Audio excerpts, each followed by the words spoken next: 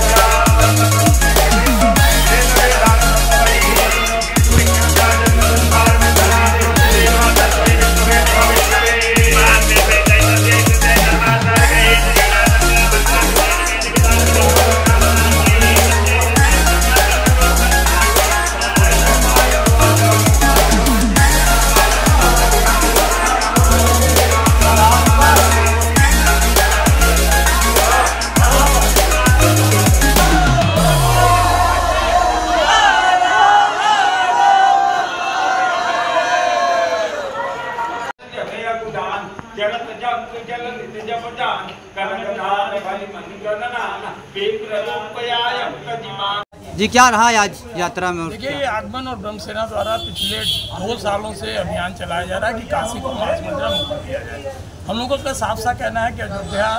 मथुरा जैसे जगह पे यदि बंद है तो भगवान शिव की नगरी में भी मास मंदिर मुक्त होना चाहिए। बारह ज्योतिर्लिंगों का हम लोग यात्रा कर रहे हैं जो काशी में स्थित है और उनको हम लोग एक अर्जी दे रहे हैं अर्जी इस बात की कि प्रभु आप सदबुद्धि दीजिए शासन प्रशासन को ताकि काशी भी शुद्ध हो और पूरा स्वरूप में आ जाए।